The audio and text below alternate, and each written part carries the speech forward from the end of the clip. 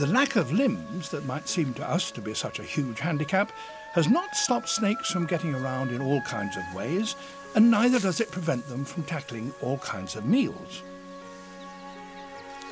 This South African snake has become a specialist in swallowing a particularly awkward mouthful. It's as accomplished a tree climber as you'll find among snakes.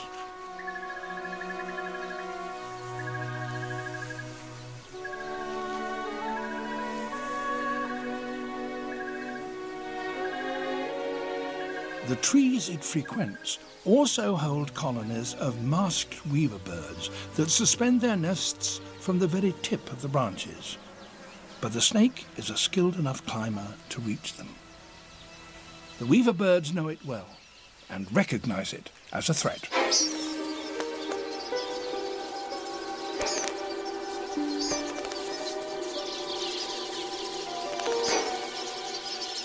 It's well accustomed to these attacks.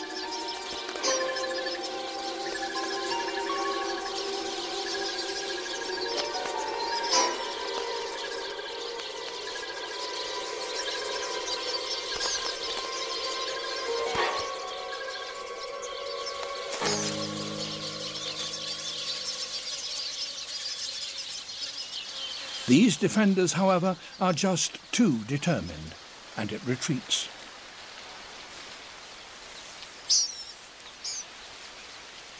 But it doesn't give up altogether.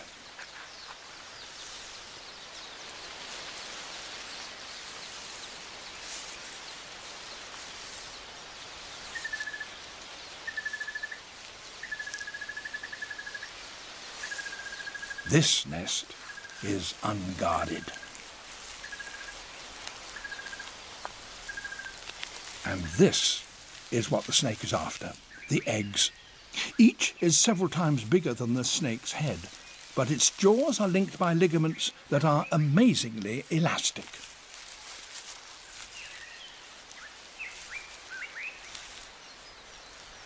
Once the egg is engulfed by the snake's jaws, powerful throat muscles push it down its gullet.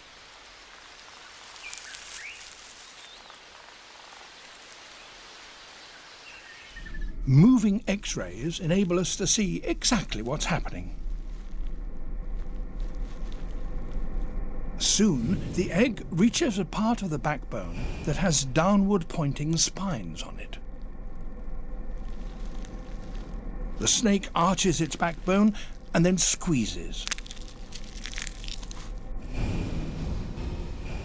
The shell cracks and the spines on the backbone slit the membrane. The shell is crushed and rich, nutritious yolk flows into the snake's gut.